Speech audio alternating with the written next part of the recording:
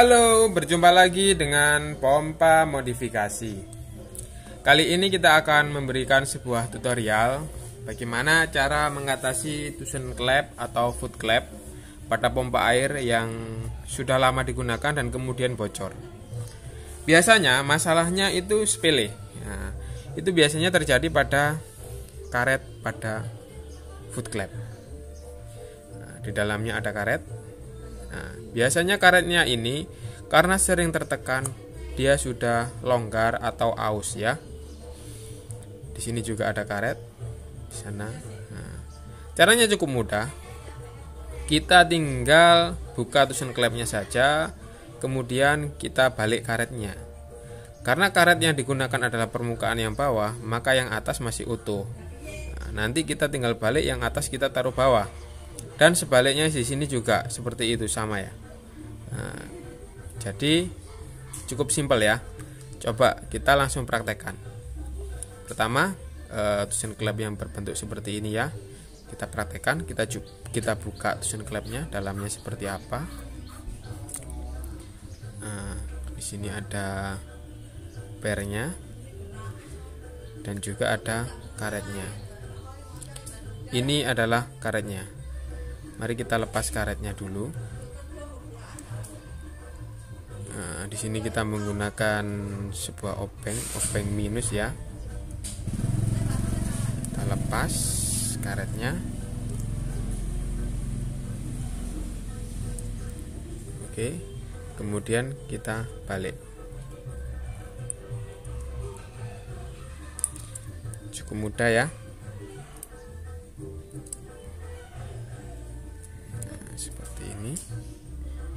Kembalikan ke tempat posisi semula ya.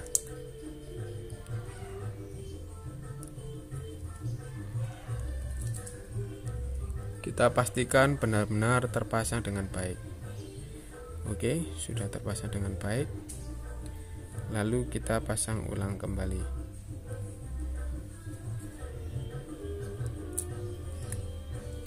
Oke, kita pasang. Oke, sudah terpasang dan karetnya sudah terpasang dengan baik. Oke. Nah, dan ini juga kita coba bagaimana cara membalik karetnya. Kita buka ya seperti ini. Kita congkel seperti ini. Oke sudah terbuka ya seperti ini dalamnya. Kemudian kita putar.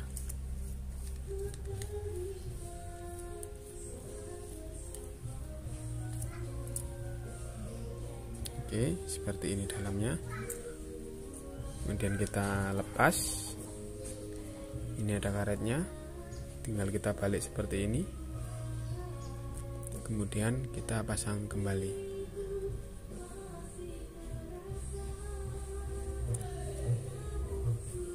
pastikan karetnya terpasang dengan baik ya. Kita posisikan dulu. Oke sudah kembali ke posisi semula. Kita pasang ininya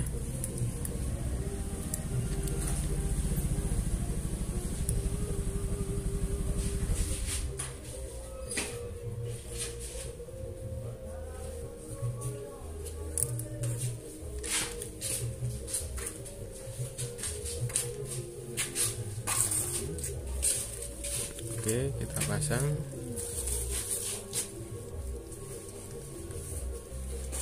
Pastikan karetnya terpasang dengan baik ya. Kemudian kita pasang tutupnya.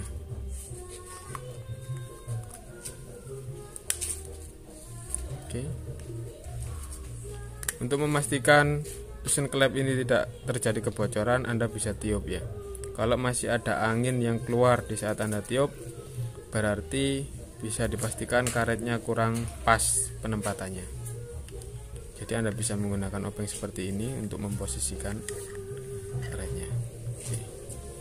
Sekian video dari kami. Semoga bermanfaat. Terima kasih sudah menonton. Jangan lupa like dan subscribe.